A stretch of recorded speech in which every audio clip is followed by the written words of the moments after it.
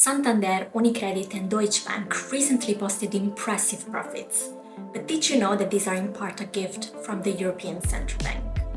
Recent interest rate hikes by the ECB mean that commercial banks get risk-free windfall profits through depositing their money at the central bank.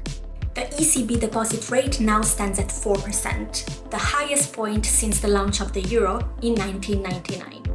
But are you getting 4% return on your saving deposits from your bank?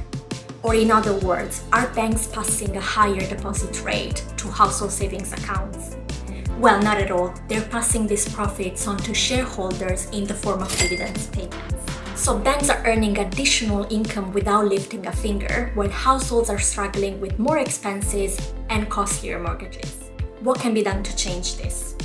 The ECB could increase the minimum reserve that banks are required to hold and pay zero interest on them.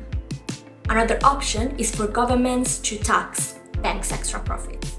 After all, holding deposits at the central bank is completely risk-free, so there is no point in paying interest. Stay tuned for more insights into the world of money and banking.